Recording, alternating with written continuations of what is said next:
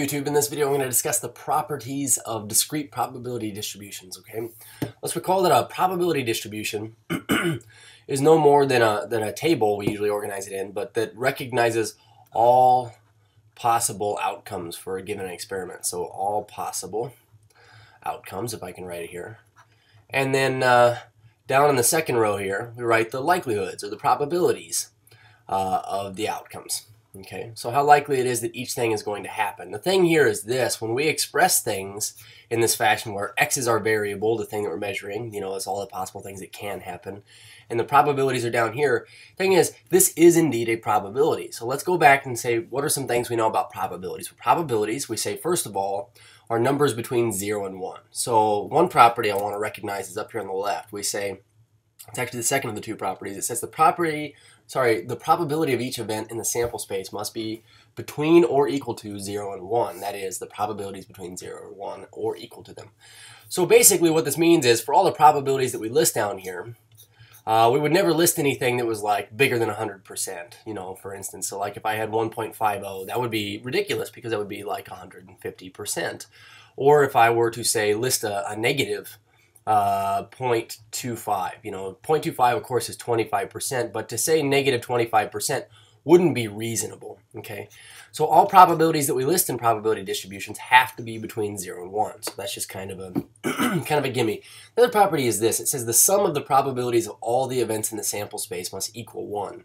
That is, if we were to add up all the probabilities in this distribution, they should come out to be 1. So if we add up this last row down here, all of our probabilities, we should get one. So for instance, if we were to look at an experiment where we were rolling a die, of course a die has six sides, and uh, it doesn't have the numbers 1 through 6 on it, but we're going to kind of interpret it as having numbers 1 through 6 on it, even though it has dots on it. You know, let's just mix them up here. Whoops.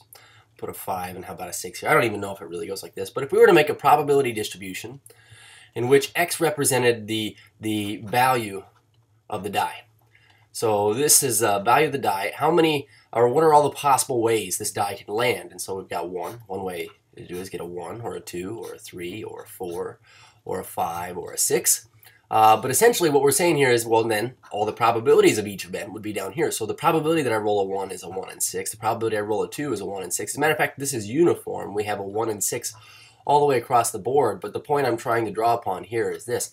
If these are all the possibilities, you know, I've got a, a 1 in 6 chance of rolling a 1, or a 1 in 6 chance of rolling a 2, 1 in 6 of a 3, 1 in 6 of a 4, 1 in 6 of a 5, and 1 in 6 of a 6. If we were to add all these up, that is, if I put over here the sum of my probabilities, then what I get is this in this instance. I get 6, 6, or 1 or 1.00 or 100% of my stuff. And the reason why is because it was 100% of the stuff in the sample space. So essentially what this first property says is this.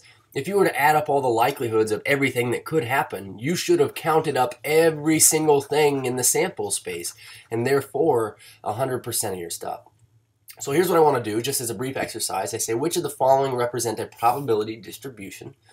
Distribution. and I say if it's not a probability distribution, tell why. Okay, so for instance, these are just hypothetical probability distributions that I put together. I say, well, x, you know, it could be 1, 2, 3, 4, 5, say. We say, here are the probabilities, 3 and 11, 5 and 11, 2 and 11, 2 and 11, and negative 1 and 11. So first thing I want to recognize is this. We got a negative probability. And so this is bad, okay? And the reason why it's bad is because it doesn't abide by the second property here that says, well, all probabilities are either between 0 and 1 or including 0 and 1, but they can't be negative and they can't be greater than 100%. So this is not, and the reason why is because of a negative probability.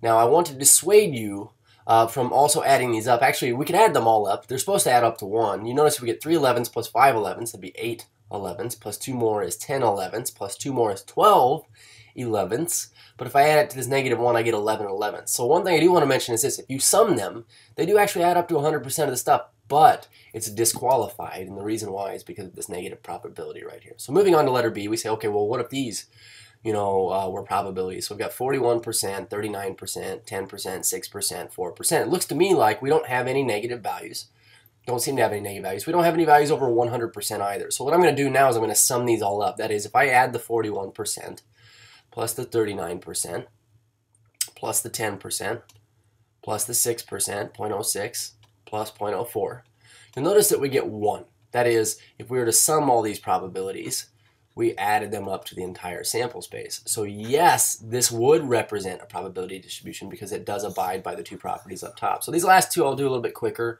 We say, is this one a probability distribution? Uh, you know what? Don't get worried about this zero right here. It is possible that you know the five in this probability distribution will never happen. It's a zero in eight chance. But the bottom line is this: uh, everything here is positive.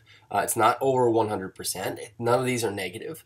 And so we say uh, 1 eighth plus 5 eighths is 6 eighths, plus another 1 eighth is 7 eighths, plus another 1 eighth is 8 eighths, plus 0 eighths is still 8 eighths. So yes, this is a probability distribution. And this last one here, just go and recognize that this one's bad. And the reason why is because this says 111%. So I'm not even going to go ahead and add all these up. I'm just going to say because this one uh, was an invalid probability, then this whole thing doesn't represent a probability distribution. So that's how you can recognize if something is or is not a probability distribution. And also, those are the two properties that are associated with each distribution that we create. Cheers.